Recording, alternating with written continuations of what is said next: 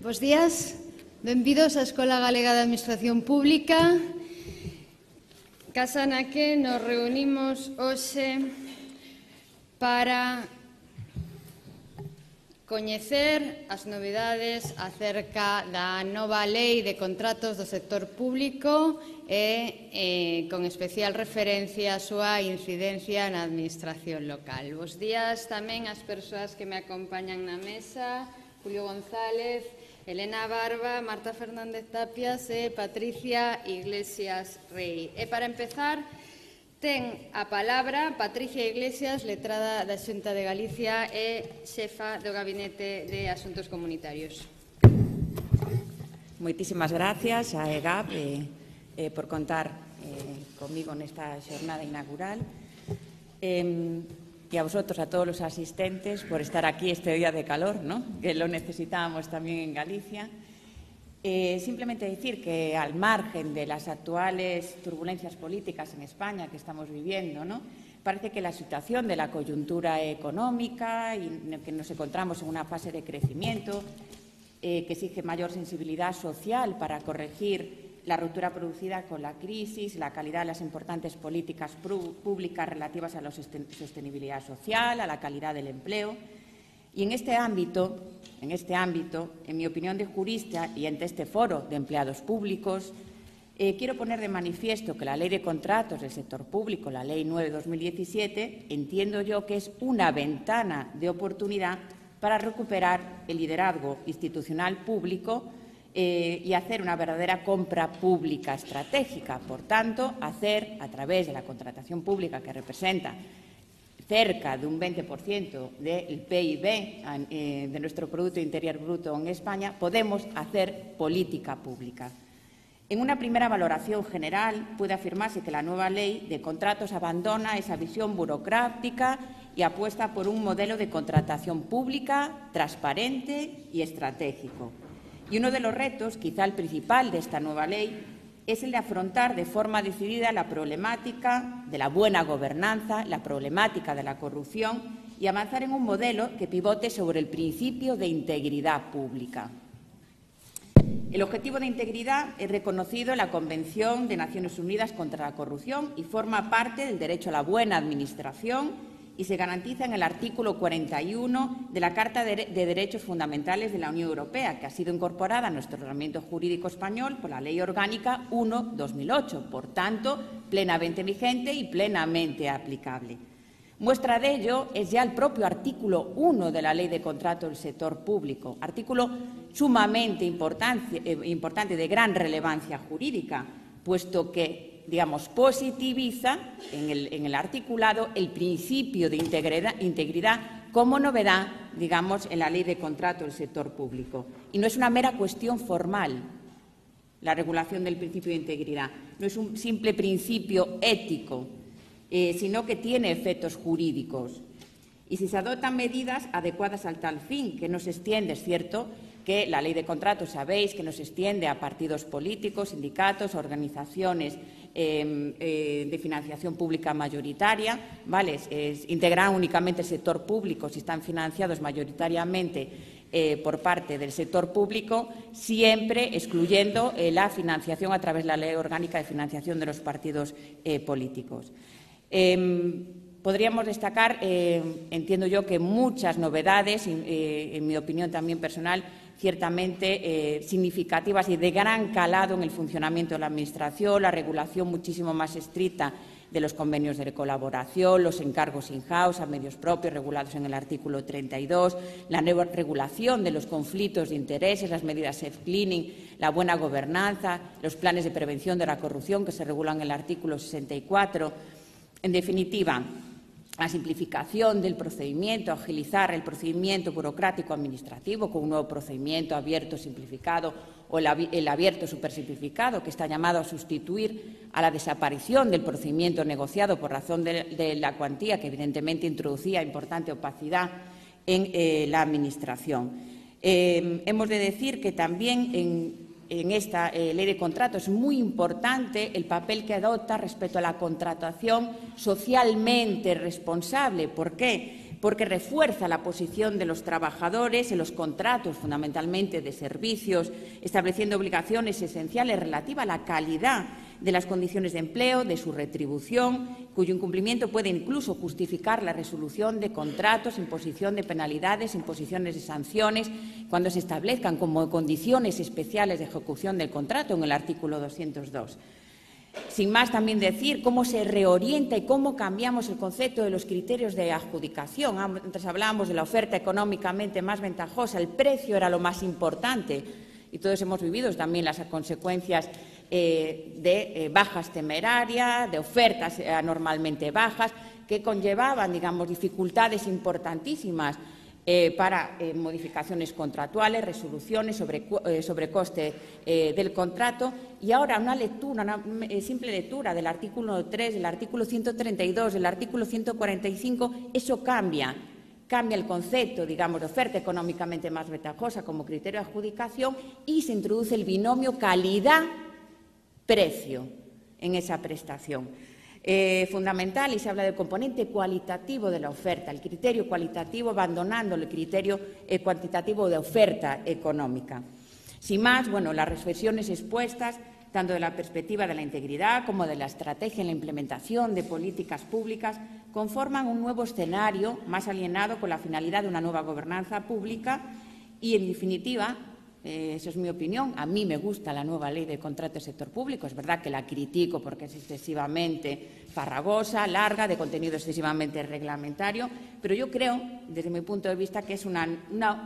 buena oportunidad eh, para, como decía yo al principio de la exposición, una ventana de oportunidad para nuevo liderazgo institucional público y que, evidentemente, los empleados públicos, todos los que formamos parte del procedimiento eh, de licitaciones públicas, vamos a tener un papel protagonista e importante. Y bueno, espero que esta jornada os sea de utilidad y que podamos también, desde el 9 de marzo, ¿no? ya llevamos unos meses de aplicación, pues un poco resolver entre todos, porque yo tengo muchas dudas de la aplicación de la ley de contrato del sector público, entre todos resolver todas las dudas eh, existentes sobre esta nueva ley de contratos que está para quedarse y esperemos que mucho tiempo y que no se cambie, en por lo menos eh, en un par eh, de años, en tres años, y que podamos por lo menos familiarizarnos con ellas y aplicarla con seguridad jurídica, que es lo que necesitamos todos los operadores jurídicos que intervenimos en el procedimiento de licitación. Muchísimas gracias.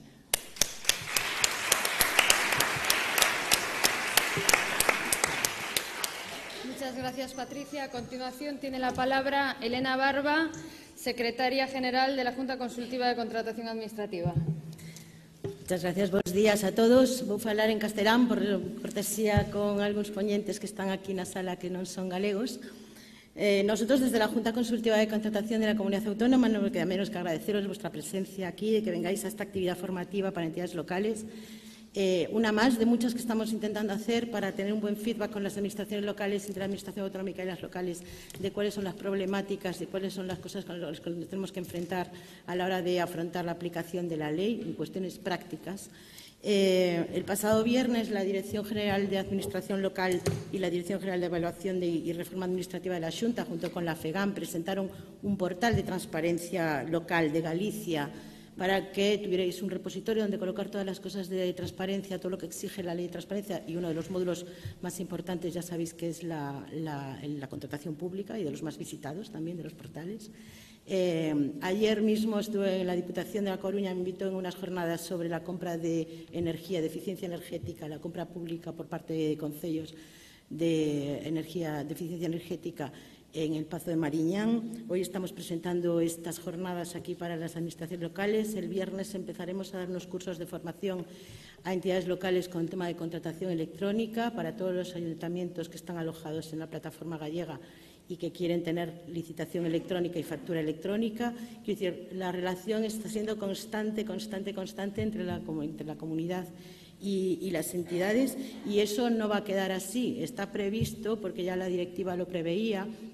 un ámbito muy amplio, hablando de la profesionalización de, la gente que nos ocupamos de esto de la contratación pública. La, directiva decía que queda mucho por mejorar en la aplicación de las normativas de la Unión, que era necesario que hubiera un órgano que tuviera una visión de conjunto de los problemas estructurales y de los modelos generales de trabajo con los que trabajamos habitualmente, tanto en el plano electrónico como en el plano de formación de personal y eh, decía que una mejor orientación, información y asistencia a los poderes adjudicadores y a los agentes económicos puede hacer contribuir en gran medida a hacer más eficiente la contratación pública gracias a mejores conocimientos, una mayor seguridad jurídica y una mayor profesionalización de las prácticas de la contratación. Eso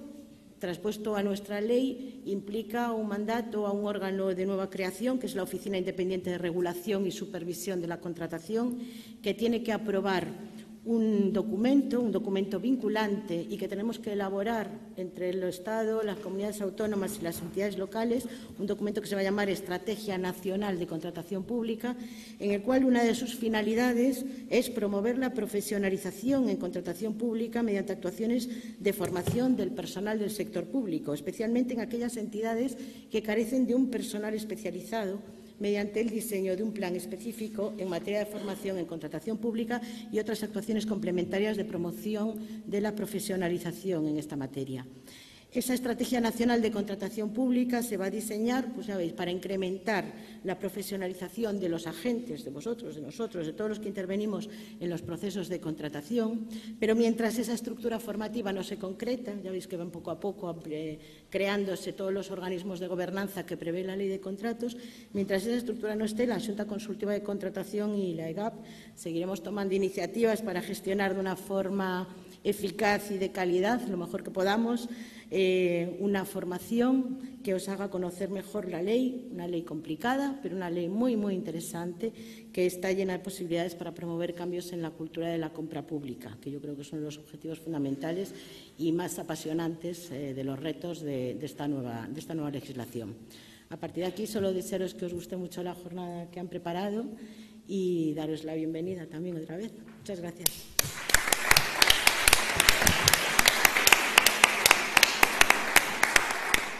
Gracias, Elena. Tiene ahora la palabra Marta Fernández Tapias, directora general de Administración Local. Buenos días a todos. Buenos días. Me voy a pasar también al castellano por deferencia con los, con los ponentes que están aquí de otras comunidades. En primer lugar, lo que quiero hacer es agradecer a la Escuela Gallega de Administración Pública la convocatoria de este curso monográfico sobre la ley de contratos específicamente para para la Administración local.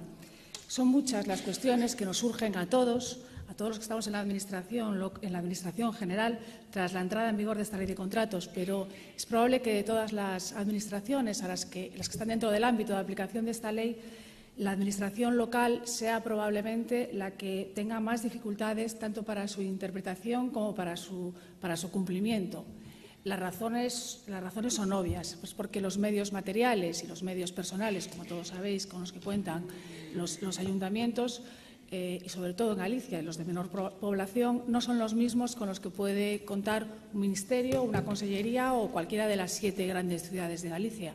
Pero la obligación del cumplimiento de la norma es para todos igual, sin ninguna excepción. Por eso yo creo que este curso va a ser muy productivo para todos vosotros y con los excelentes ponentes que hoy y mañana van a, exponer las, las, distintas ponencias, nos van a aclarar mucho las innumerables cuestiones que nos podemos plantear, como las más relacionadas con la administración local, por ejemplo, que se me pueden venir ahora mismo a la cabeza, es qué se puede hacer cuando no se dispone de una plataforma de licitación electrónica o qué hacer en el caso de que no exista un número de funcionarios suficiente como para poder hacer una mesa de contratación, que esto puede pasar en cualquiera de los pequeños concellos que tenemos. También que eh, si, el, secretario interventor tiene que hacer los, los pliegos de las cláusulas administrativas y luego los tiene que informar, cómo se puede conjugar todo esto. ¿Cómo puede un interventor, un secretario interventor, tener que asistir a la recepción material de todos los contratos, a excepción de los menores? Son cuestiones que creo que son muy importantes, como hablaba antes también Elena, de cumplir con la normativa de contratación a la vez de cumplir con la normativa de transparencia tan importante hoy en día. Creo que es fundamental conocer todos los retos que nos presenta esta ley de contratos desde la particular óptica que tiene siempre la organización y el funcionamiento de la Administración local. Por lo tanto, y ya para terminar, como antes dije, creo que eh, y confío en que en este curso nos va a ayudar a todos en, en mejorar nuestro trabajo diario en todo lo relativo a la contratación, nos aclare muchas de las grandes dudas que presenta esta, esta ley de contratos y así entre todos podamos conseguir hacer una administración que sea más eficiente y más eficaz. Nada más, muchas gracias.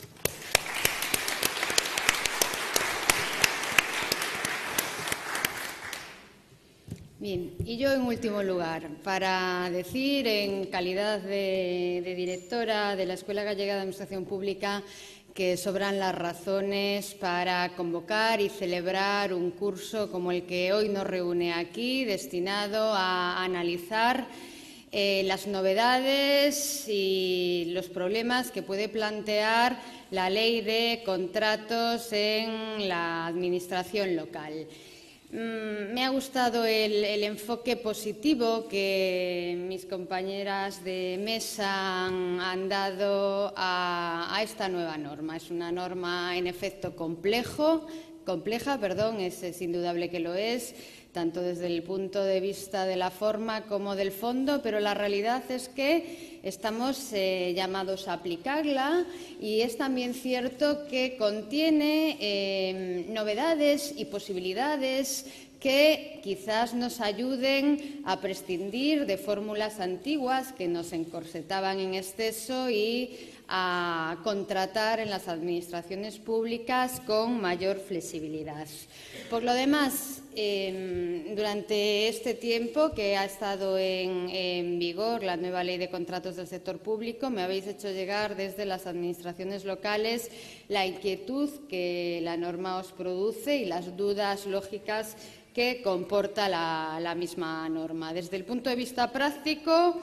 eh, basta con trasladar un dato con el que me encontré hace unos días y es que el pasado año el 36% del total de la contratación en el ámbito general del territorio nacional fue gestionada por las administraciones locales. Esto según consta en el informe relativo a la contratación pública en España en 2017 elaborado por el Ministerio de Hacienda y Función Pública. Repito, el 36% del total de la contratación en el ámbito general fue gestionado ni ni menos que por las administraciones locales. Así que esto, unido a esas dudas que acabo de mencionar, justifica sobradamente que hoy nos encontremos aquí para analizar esta ley eh, en el convencimiento de que, en la medida en que aclaremos las dudas y demos formación suficiente sobre la nueva ley de contratos, contribuiremos de forma efectiva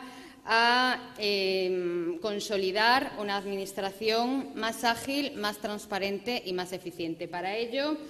eh, hemos compuesto un programa en el que constan, estimo, los puntos eh, nucleares y más importantes eh, en relación con la nueva norma y en el que contamos con expertos y técnicos de reconocido prestigio. Gracias por su atención y, sin más, vamos a dar comienzo a la primera de las ponencias que conforman este programa. Muchas gracias.